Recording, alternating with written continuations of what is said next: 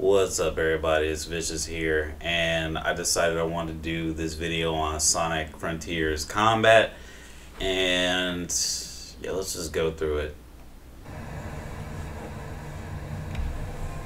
IGN First continues on with yet another look at Sonic Frontiers gameplay, this time focusing on combat. Sonic is up against an all-new... This isn't that important, I'm just um, playing it for the music's sake, to be honest. Unfortunately, Sonic's got some new tricks up his sleeve. Make sure to stick with IGN all throughout June because we've got a full hands-on preview and interviews from the developers in store. For now, though, enjoy the combat of Sonic Frontiers. Well, we'll see about that. So that's homing attack, right? And that's that attack that I was talking about before, right? In my previous video that only two people seen. Um, but basically, this is Shadow the Hedgehog from Sonic 06, right? So Shadow the Hedgehog could do a homing attack, and after his homing attack, he could follow up with a you know um, a series of like I guess you say melee follow up attacks, and it looks like Sonic can do that in a much like slower fashion. Um, I don't know what button he's going to be pressing, but the, oh yeah, I like the look of this enemy, especially the eye. Um, but yeah, that's something that Sonic's doing, and it looks like he doesn't lose all of his rings, which is something that um, I like. I love that feature in Sonic games. I think I first noticed that in Shadow the Hedgehog. I think that's a game where you don't lose all your rings in, like instantly when you get hit, and I like that. So you can dodge in midair too. I do like that. Um, these animations are like super stiff, though. Like when it comes to like dodging and doing this homing attack stuff. What was that? Right. So check that out. I need to know what exactly he did right there. Did he press a button? Because that's what it looks like. It looks like he pressed a button and it goes into this, this special attack. Um, which is, I guess, looks like a stronger version of homing attack. Um, I like the visual flair on it. Uh, not exactly sure of its mechanics and how it works. Like, yeah, like that right there. Looks super... Um, when it's activated like that, it looks a little unintuitive. Like, if he can just dodge and go back that far and has a selection of moves, I think that'd be interesting. But it looks like it's just press a button and then go back that far. This is like a Nights in a Dream move or something, right? Um, so Sonic just sort of like flips backwards. I don't know if this is a power he's unlocked, but Sonic has never been able to like fly.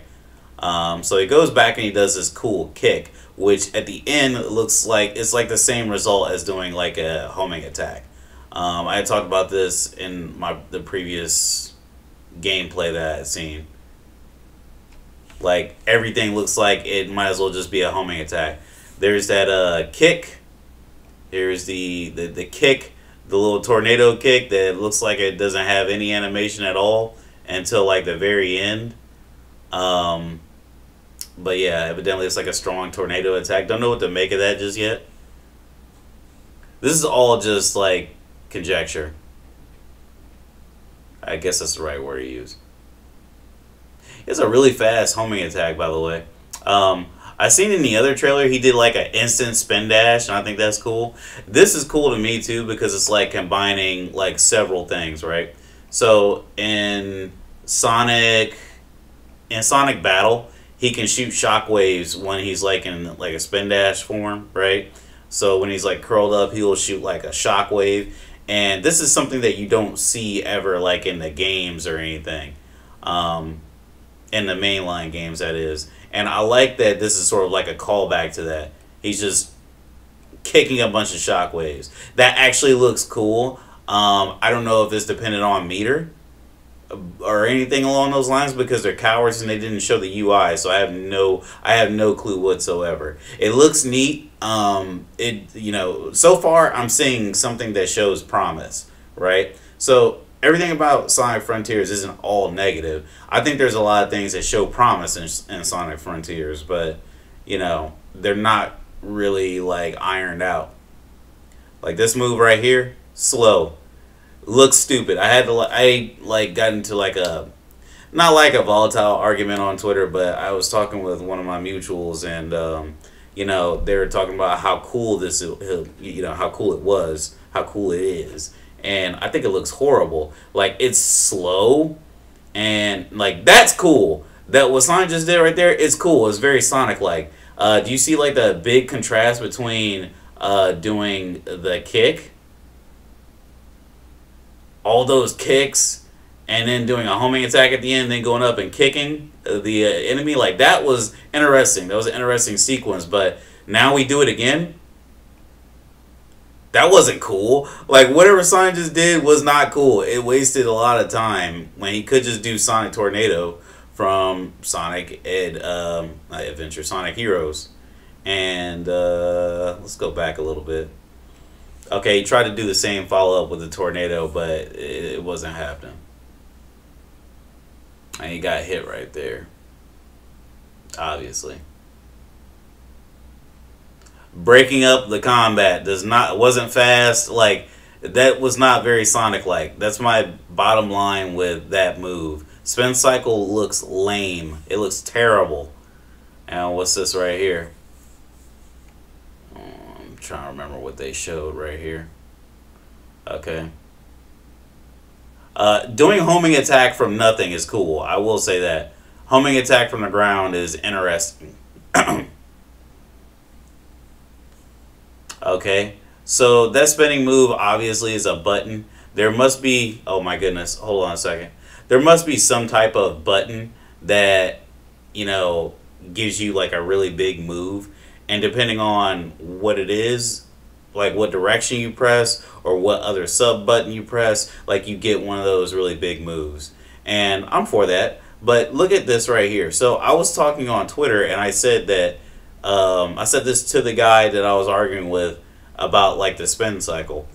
I said that Sonic Heroes exists and Sonic Heroes has the blue tornado or the Sonic tornado and Sonic just jumps in the air and then he just wraps around the enemy really fast and you know he lifts him up into the air. That's basically what this is, but the visual flair on it or the visual I don't know what you want to call it fidelity isn't as cool as say Sonic um, Sonic Heroes. Also, really weird. So um, he lifted the enemy up off the ground, but it did not lift up the shell. You notice. So he has to do it on the ground. He has to do that weird, like run around them. I don't like that, you know. And it'd be so, it'd be different if you could just like swiftly run around the enemy, but it doesn't look like that's available. At least not in this build. So I, that's that's an issue I have with it. It's very slow, um, very unsonic like. That seems like something more along the lines like I don't know Knuckles would have or something. And there's these enemies. Look at how much the combat slows down when you run around them too. Like you can only incorporate that into like the very slow enemies, which that's fine. You don't want to tackle every enemy the same. Um, let me say, hold on, let me give this game some praises real quick. There's it looks like there's a just dodge um, where Sonic can dodge out the way really quickly, and it slows the game down. I'm assuming it gives him some sort of buff. Interesting. I like how they're leaning into combat um, there's definitely potential. I'll keep saying that throughout this entire video. There's so much potential in this game. And honestly, I think mods are going to like make this game really good. Um, I don't trust Sonic Team. Triple homing attack. People were complaining about the homing attack uh, is from Forces, and I'm just like, I think the homing attack looks good. I don't like, you know, when he curls into a ball and how it resembles Forces uh, curl. But you know, whatever. This is weird automation. Um, I, will I'll say that. What I what we just seen was it looks like you go through you go through the blue rings and they're supposed to propel you forward um, in a direction you're trying to go to. And I like that the stomp is part of the combo. That's interesting. But anyway, yeah, the blue rings are supposed to propel you forward, and they're that's some more automation. Like, why can't Sonic just boost all the way up this thing's leg? Why why is it like oh, well, no, you can't do it. You had to be automated to do it. That's super lame. Um, Sonic just lifted up the leg of this enemy. I should put some of this back on.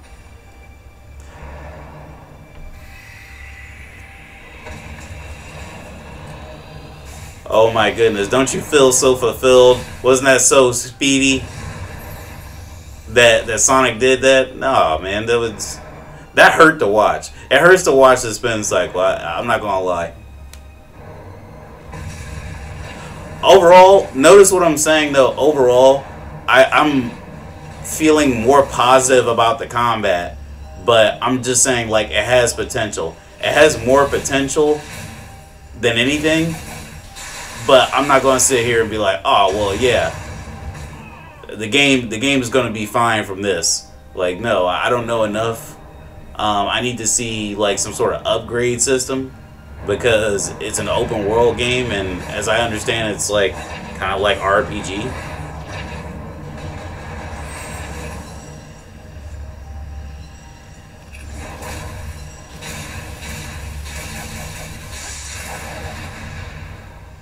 Okay, so we didn't see a hell of a lot of moves, but compared to normal Sonic games, compared to even uh, one of like the most coveted Sonic games, um, that there's like a lot of moves here.